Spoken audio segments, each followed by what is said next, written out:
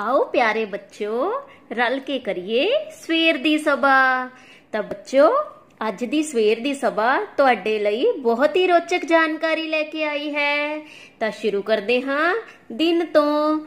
ਤਾਂ ਬੱਚਿਓ, ਅੱਜ ਦਾ ਦਿਨ ਹੈ ਵੀਰਵਾਰ। ਅੱਜ ਦੀ ਮਿਤੀ ਹੈ 28 ਜਨਵਰੀ 2021 ਅੱਜ ਦਾ ਵਿਚਾਰ। ਤਾਂ ਬੱਚਿਓ, ਅੱਜ ਦਾ ਵਿਚਾਰ ਹੈ ਅਨੁਸ਼ਾਸਨ ਪਸੰਦ ਲੋਕ ਸਭ ਤੋਂ ਵੱਧ ਸੁਖੀ ਹੁੰਦੇ ਹਨ।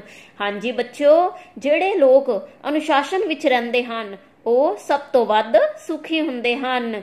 ਦੇਖੋ ਬੱਚਿਓ, ਅਨੁਸ਼ਾਸਨ ਮਨੁੱਖੀ ਚਰਿੱਤਰ ਦੀ ਰੀੜ ਦੀ ਹੱਡੀ ਹੈ। ਇਹ ਮਨੁੱਖ ਦੀ ਸ਼ਖਸੀਅਤ ਨੂੰ ਨਿਖਾਰਦਾ ਹੈ।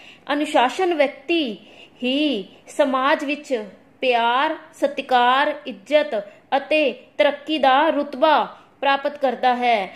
ਅਨੁਸ਼ਾਸਨ ਹੀ ਹੈ ਜੋ ਸਾਨੂੰ ਸਨਮਾਨਜਨਕ ਜ਼ਿੰਦਗੀ ਦਿੰਦਾ ਹੈ। ਬੱਚਿਓ, ਸਾਰੀ ਕੁਦਰਤ, ਭਾਵ, ਸੂਰਜ ਚੰ드ਰਮਾ ਤਾਰੇ, ਧਰਤੀ ਇੱਕ ਅਨੁਸ਼ਾਸਨ ਦੇ ਵਿੱਚ ਵੱਜੇ ਹੋਏ ਹਨ। ਜੇ ਕੁਦਰਤ ਵੀ ਅਸੂਲਾਂ ਅਨੁਸਾਰ ਕੰਮ ਨਾ ਕਰੇ, ਤਾਂ ਧਰਤੀ ਤੋਂ ਜੀਵਨ ਖਤਮ ਹੋ ਜਾਵੇਗਾ। ਬੱਚਿਓ, ਜ਼ਿੰਦਗੀ ਵਿੱਚ ਸਭ ਤੋਂ ਵੱਡੀ ਉਦਾਹਰਨ ਛੋਟੀਆਂ-ਛੋਟੀਆਂ ਕੀੜੀਆਂ ਦੀ ਹੈ। ਉਹ ਕਿਵੇਂ ਅਨੁਸ਼ਾਸਨਬੱਧ ਰਹਿ ਕੇ ਹੀ ਆਪਣਾ ਕੰਮ ਕਰਦੀਆਂ ਹਨ, ਕਦੇ ਵੀ ਨਹੀਂ ਰੁਕਦੀਆਂ। ਇਸ ਲਈ ਸਾਨੂੰ ਚਾਹੀਦਾ ਹੈ ਕਿ ਦੇਸ਼ ਦਾ ਭਵਿੱਖ ਉਸਾਰਨ ਲਈ ਅਨੁਸ਼ਾਸਨ ਨੂੰ ਅਪਣਾਇਆ ਜਾਵੇ ਅਤੇ ਸੁਖੀ ਜੀਵਨ ਬਤੀਤ ਕੀਤਾ ਜਾਵੇ, ਕਿਉਂਕਿ ਬੱਚਿਓ, ਅਨੁਸ਼ਾਸਨ ਪਸੰਦ ਲੋਕ ਹੀ ਸਭ ਤੋਂ ਵੱਧ ਸੁਖੀ ਹੁੰਦੇ ਹਨ। ਚਲੋ ਅੱਗੇ ਵਧੀਏ, ਗਿਆਨ ਵਿਗਿਆਨ ਦੇ ਪ੍ਰਸ਼ਨਾਂ ਵੱਲ। ਤਾਂ ਬੱਚਿਓ, ਗਿਆਨ ਵਿਗਿਆਨ ਦਾ ਪਹਿਲਾ ਪ੍ਰਸ਼ਨ ਹੈ ਭਾਰਤ ਦੇ ਕਿਹੜੇ ਸ਼ਹਿਰ ਨੂੰ ਗੁਲਾਬੀ ਸ਼ਹਿਰ ਕਿਹਾ ਜਾਂਦਾ ਹੈ? ਹਾਂਜੀ ਬੱਚਿਓ, ਤਾਂ ਭਾਰਤ ਦਾ ਉਹ ਕਿਹੜਾ ਸ਼ਹਿਰ ਹੈ ਜਿਸ ਨੂੰ ਗੁਲਾਬੀ ਸ਼ਹਿਰ ਕਿਹਾ ਜਾਂਦਾ ਹੈ? ਹਾਂਜੀ, ਤਾਂ ਇਸ ਦਾ ਸਹੀ ਉੱਤਰ ਹੈ ਜੈਪੁਰ। ਇਸ ਬਾਰੇ ਥੋੜੀ ਜਾਣਕਾਰੀ ਲਓ। ਬੱਚਿਓ, ਜੈਪੁਰ ਦੀ ਸਥਾਪਨਾ 1727 ਈਸਵੀ ਵਿੱਚ ਸਵਾਈ ਜੈ ਸਿੰਘ ਦੁਆਰਾ ਕੀਤੀ ਗਈ। ਇਹ ਰਾਜਸਥਾਨ ਦੀ ਰਾਜਧਾਨੀ ਹੈ। ਬੱਚਿਓ ਇਸ ਨੂੰ ਲੋਕਪ੍ਰਿਯ, ਵਿਆਪਕ, ਰਸਤੇ ਅਤੇ ਵਿਸ਼ਾਲ ਬਾਗਬਾਨੀ ਦੇ ਨਾਲ-ਨਾਲ ਗੁਲਾਬੀ ਸ਼ਹਿਰ ਵਜੋਂ ਜਾਣਿਆ ਜਾਂਦਾ ਹੈ। ਬੱਚਿਓ, ਜੈਪੁਰ ਵਿੱਚ ਸ਼ਾਨਦਾਰ ਕਿਲੇ ਬਣੇ ਹੋਏ ਹਨ, ਜਿੱਥੇ ਪੁਰਾਣੇ ਸਮੇਂ ਵਿੱਚ ਰਾਜੇ ਮਹਾਰਾਜੇ ਰਿਹਾ ਕਰਦੇ ਸਨ। ਬੱਚਿਓ, ਇਸ ਤੋਂ ਇਲਾਵਾ ਜੈਪੁਰ ਦੇ ਬਾਜ਼ਾਰਾਂ ਵਿੱਚ ਕਢਾਈ ਬੁਨਾਈ ਚਮੜੇ ਦੇ ਜੁੱਤੇ, ਮਿੱਟੀ ਦੇ ਬਰਤਨ, ਗਹਿਣੇ, ਕੱਪੜੇ ਆਦਿ ਬਹੁਤ ਵਧੀਆ ਤੇ ਸੋਹਣੇ ਸੋਹਣੇ ਮਿਲਦੇ ਹਨ।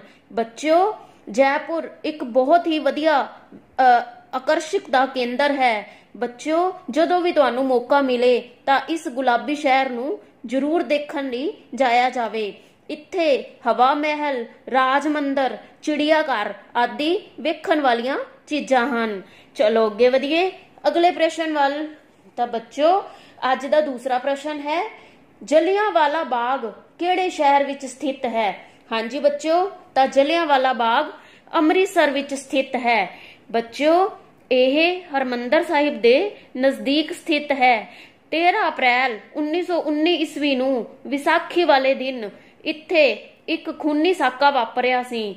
ਬੱਚਿਓ ਇੱਥੇ ਰੋਲ ਟੈਕਟ ਦਾ ਵਿਰੋਧ ਕਰਨ ਸੰਬੰਧੀ ਇੱਕ ਸਭਾ ਹੋ ਰਹੀ ਸੀ। ਪਰੰਤੂ ਉਸ ਸਮੇਂ ਅੰਗਰੇਜ਼ ਜਨਰਲ ਡਾਇਰ ਨੇ ਜਲਸੇ ਵਿੱਚ ਗੋਲੀ ਚਲਾ ਕੇ ਅਨਮਨੁੱਖੀ ਕਤਲੇਆਮ ਕੀਤਾ। 10 ਮਿੰਟ ਦੀ ਬੱਚਿਓ ਗੋਲਾਬਾਰੀ ਵਿੱਚ 1650 ਗੋਲੀਆਂ ਚਲਾਈਆਂ ਗਈਆਂ। ਕਿਹਾ ਜਾਂਦਾ ਹੈ ਸਰਕਾਰੀ ਸਰੋਤਾਂ ਦੇ ਅਨੁਸਾਰ ਕਿ ਉਸ ਸਮੇਂ 379 ਲਾਸ਼ਾਂ ਦੇਖਣ ਨੂੰ ਮਿਲੀਆਂ ਅਤੇ 1100 ਜ਼ਖਮੀ ਹਾਲਾਤ ਵਿੱਚ ਲੋਕ ਪਾਏ ਗਏ। ਪਰੰਤੂ ਭਾਰਤੀ ਰਾਸ਼ਟਰੀ ਕਾਂਗਰਸ ਦੇ ਅਨੁਸਾਰ ਮਰਨ ਵਾਲਿਆਂ ਦੀ ਸੰਖਿਆ 1000 ਤੋਂ ਵੀ ਵੱਧ ਸੀ।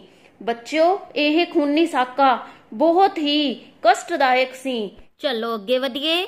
ਅਗਲਾ ਪ੍ਰਸ਼ਨ। ਤਾਂ ਬੱਚਿਓ, ਅੱਜ ਦਾ ਅਗਲਾ ਪ੍ਰਸ਼ਨ ਹੈ, ਇਹ ਵਿਸ਼ਵ ਸਿਹਤ ਦਿਵਸ ਕਦੋਂ ਮਨਾਇਆ ਜਾਂਦਾ ਹੈ?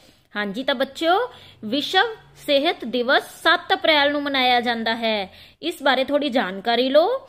ਬੱਚਿਓ, ਵਿਸ਼ਵ ਸਿਹਤ ਸੰਗਠਨ 1948 ਈਸਵੀ ਦੇ ਵਿੱਚ ਪਹਿਲੀ ਵਾਰ ਇੱਕ ਮੀਟਿੰਗ ਦੇ ਦੁਆਰਾ ਐਲਾਨਿਆ ਗਿਆ ਸੀ।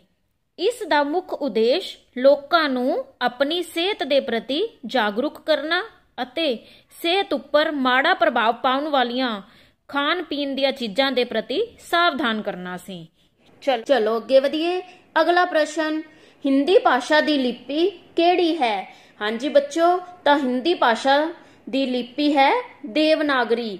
ਬੱਚਿਓ ਇਸ ਨੂੰ ਸਟੈਂਡਰਡ ਹਿੰਦੀ ਵੀ ਕਿਹਾ ਜਾਂਦਾ ਹੈ। ਇਹ ਭਾਰਤ ਦੇ ਉੱਤਰ ਅਤੇ ਮੱਧ ਭਾਰਤ ਦੇ ਵੱਖ-ਵੱਖ ਸੂਬਿਆਂ ਵਿੱਚ ਬੋਲੀ ਜਾਂਦੀ ਹੈ। ਇਹ ਭਾਰਤ ਦੀਆਂ ਸਰਕਾਰੀ ਬੋਲੀਆਂ ਵਿੱਚੋਂ ਇੱਕ ਹੈ। ਬੱਚਿਓ ਇਸ ਨੂੰ ਰਾਸ਼ਟਰ ਭਾਸ਼ਾ, ਰਾਜ ਭਾਸ਼ਾ ਜਾਂ ਸੰਪਰਕ ਭਾਸ਼ਾ ਵੀ ਕਿਹਾ ਜਾਂਦਾ ਹੈ। ਚਲੋ ਅੱਗੇ ਵਧੀਏ, ਅਗਲਾ ਪ੍ਰਸ਼ਨ। ਤਾਂ ਬੱਚਿਓ, ਅੱਜ ਦਾ ਪੰਜਵਾਂ ਪ੍ਰਸ਼ਨ ਹੈ, ਸਾਡੇ ਰਾਸ਼ਟਰੀ ਝੰਡੇ ਵਿਚਲੇ ਅਸ਼ੋਕ ਚੱਕਰ ਦਾ ਰੰਗ ਕਿਹੜਾ ਹੁੰਦਾ ਹੈ? ਹਾਂਜੀ ਤਾਂ ਬੱਚਿਓ, ਇਹ ਅਸ਼ੋਕ ਚੱਕਰ ਦਾ ਰੰਗ ਤੁਸੀਂ ਸਭ ਜਾਣਦੇ ਹੀ ਹੋ, ਸਾਰਿਆਂ ਨੇ ਤੁਸੀਂ ਰਾਸ਼ਟਰੀ ਝੰਡਾ ਦੇਖਿਆ ਹੀ ਹੈ। ਤਾਂ ਬੱਚਿਓ ਇਸ ਦਾ ਰੰਗ ਨੀਲਾ ਹੁੰਦਾ ਹੈ। ਬੱਚਿਓ, ਇਹ ਸਫੇਦ ਰੰਗ ਦੀ ਪੱਟੀ ਦੇ ਉੱਪਰ ਬਣਿਆ ਹੁੰਦਾ ਹੈ। ਇਸ ਤੇ 24 ਲਾਈਨਾਂ ਦਾ ਅਸ਼ੋਕ ਚੱਕਰ, ਜੋ ਕਿ ਨੀਲੇ ਰੰਗ ਦਾ ਹੁੰਦਾ ਹੈ। ਉਹ ਬਣਿਆ ਹੋਇਆ ਹੈ। ਬੱਚਿਓ, ਇਸ ਚੱਕਰ ਦਾ ਵਿਆਸ ਤਕਰੀਬਨ ਚਿੱਟੀ ਪੱਟੀ ਦੀ ਚੌੜਾਈ ਦੇ ਬਰਾਬਰ ਹੁੰਦਾ ਹੈ। ਇਹ ਚੱਕਰ ਅਸ਼ੋਕ ਦੇ ਸਾਰਨਥ ਸ਼ੇਰ ਰਾਜਧਾਨੀ ਦੇ ਅਬੈਕਸ ਤੇ ਦਿਸਦਾ ਹੈ। ਚਲੋ ਅੱਗੇ ਵਧੀਏ। ਆਓ ਬੁੱਝੀਏ। ਚਲੋ ਅੱਗੇ ਵਧੀਏ। ਆਓ ਬੁੱਝੀਏ। ਤਾਂ ਬੱਚਿਓ, ਅੱਜ ਦੀ ਬੁਝਾਰਤ ਹੈ, ਬਾਤ ਪਾਵਾਂ, ਬਤੋਲੀ ਪਾਵਾਂ। ਬਾਤ ਨੂੰ ਲਾਵਾਂ ਚਾਂਜਰਾ। ਸਾਰਾ ਪਿੰਡ ਸੋ ਗਿਆ, ਸ਼ੇਰੂ ਮਾਰੇ ਚਾਂਗਰਾ। ਹਾਂਜੀ ਬੱਚੋ ਬੁੱਝੋ, ਬਹੁਤ ਵਧੀਆ ਹੈ ਅੱਜ ਦੀ ਬੁਝਾਰਤ। ਦੇਖੋ ਬੱਚੋ ਬਾਤ ਪਾਵਾਂ, ਬਤੋਲੀ ਪਾਵਾਂ। ਬਾਤ ਨੂੰ ਲਾਵਾਂ ਚਾਂਜਰਾ। ਸਾਰਾ ਪਿੰਡ ਸੋ ਗਿਆ। ਸ਼ੇਰੂ ਮਾਰੇ ਚਾਂਗਰਾ। ਹਾਂਜੀ ਬੱਚੋ ਇਸ ਦਾ ਸਹੀ ਉੱਤਰ ਹੈ, ਕੁੱਤਾ ਸਭ ਨੇ ਦੇਖਿਆ ਹੀ ਹੈ। ਚਲੋ ਅੱਗੇ ਵਧੀਏ। ਅੱਜ ਦੇ ਸ਼ਬਦ, ਤਾਂ ਬੱਚਿਓ, ਅੱਜ ਦਾ ਪਹਿਲਾ ਸ਼ਬਦ ਹੈ ਆਵਰ। ਆਵਰ ਹੁੰਦਾ ਹੈ ਘੰਟਾ। ਅੱਜ ਦਾ ਦੂਸਰਾ ਸ਼ਬਦ ਹੈ ਓਨੈਸਟ। ਓਨੈਸਟ ਹੁੰਦਾ ਹੈ ਇਮਾਨਦਾਰ। ਅੱਜ ਦਾ ਤੀਸਰਾ ਸ਼ਬਦ ਹੈ ਓਨਰ। ਓਨਰ ਹੁੰਦਾ ਹੈ ਸਨਮਾਨ ਕਰਨਾ ਅੱਜ ਦਾ ਚੌਥਾ ਸ਼ਬਦ ਹੈ ਵਾਈਟ ਵਾਈਟ ਹੁੰਦਾ ਹੈ ਸਫੇਦ ਅੱਜ ਦਾ ਪੰਜਵਾਂ ਸ਼ਬਦ ਹੈ ਰਾਇਮ ਰਾਇਮ ਹੁੰਦਾ ਹੈ ਤੁਕਬੰਦੀ